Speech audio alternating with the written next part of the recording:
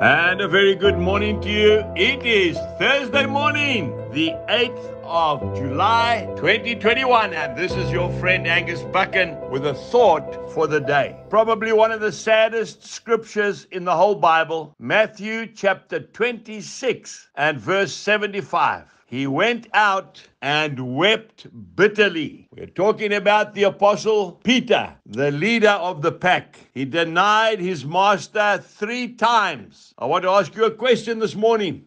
Is it possible for God to restore us again once we have let him down? Peter was restored, but not before he was totally broken. You see, he had taken the Lord aside. He had rebuked the Lord when he heard the story that Jesus told the disciples, I'm going to be crucified. And the Lord said, Get behind me, Satan. Then he denied the Lord three times. I want to say to you, maybe today you have let the Lord down. Maybe you have not fulfilled what the Lord has asked you to do. But the Lord never gives up on his children. Right at the end of the Gospel of John, chapter 21, from verse 15 to 17, you can read it yourself. You'll see when Peter was totally destitute with the disciples that gone back fishing, their hero had been crucified. There was a man on the shore who said, Boys, have you caught anything? No, we've been fishing all night. Throw the net on the other side. And they pulled in 153 of St. Peter's fish. And then the Lord asked Peter three times, Peter, do you love me? Yes, Lord, you know I love you. Feed my sheep. You see, Peter started off as a worldly Christian and he ended up as a spiritual Christian. We really need to seek the Lord in these last days. You know, the first sermon that Peter preached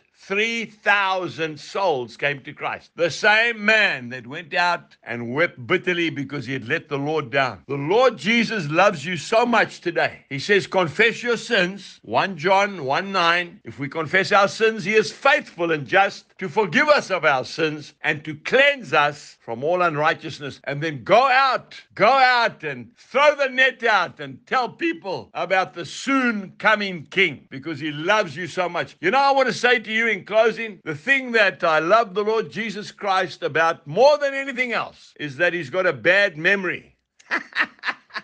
That's right. You see, when he forgives, he forgets. He didn't bring it up and say to Peter, You know, Peter, you denied me three times and you said that you would die for me. No. He said, Peter, do you love me? Yes, Lord, you know I love you. Feed my sheep. And the Lord's done that to me not once, many times. And he wants to do it for you today. Get up, dust yourself off, get back in the race, and the Master's going to run with you all the way to the finish line. Have a wonderful day. God bless you, and goodbye.